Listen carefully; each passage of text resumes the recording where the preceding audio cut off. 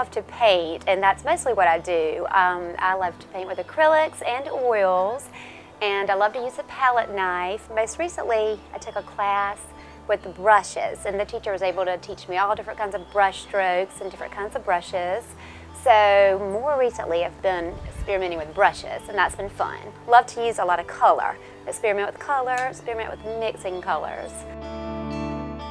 I love to take walks, and um, the painting through the camellias, especially I was at a golf course with my husband and I was taking a walk and saw a pretty little path that was like an enchanting little path leading up to a beautiful home and took a picture and about a week later I was looking back at my pictures and chose that photograph to paint. So in that instance it was the low country. Other instances it's no inspiration, it's just random. I feel like throwing a bunch of color around and playing. So.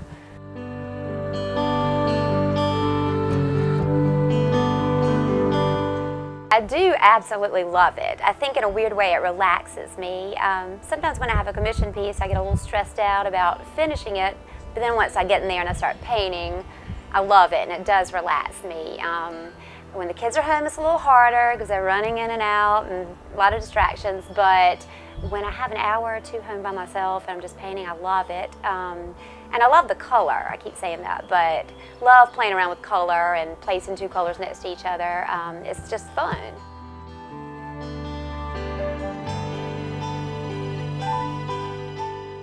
The abstract piece was a lot of fun because it's totally different. Um, and I used more brush in that one and then used the palette knife towards the end. But again, the contrast with the warm and the cool colors. And I learned recently that an abstract does have rhyme or reason. And if it doesn't, it may not end up being what I want it to be. So I had to put a lot of thought into it. Um, they're a little bit harder than they look, but it was fun once I got my cools and my darks, I mean my cools and my um, warms and got them flowing, then it was fun to throw color on top of that.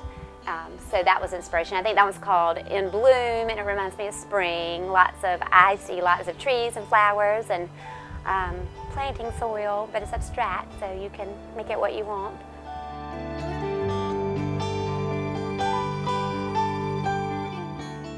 When the children were little and I was working, I just didn't have time to do it. And it's all about getting it all out and taking the time to get it all out and put it up. So now I just um, leave it out in my dining room. But that makes it easier because it's there. Just push it over to the side. But um, anyway, I quit my job and started painting for my husband's office because his walls were white. And um, I just had the idea of taking pictures of them and I said, well, I'll put them on Facebook and see if anybody likes them. Maybe someone would want to buy one. And out of that group, I ended up selling them. So I thought, well, I'll paint more. And then people started asking me to paint some more pieces. So that's kind of how it started. And I've been so grateful and so thankful to everyone. Um, it's been fun to paint for people. So thank you.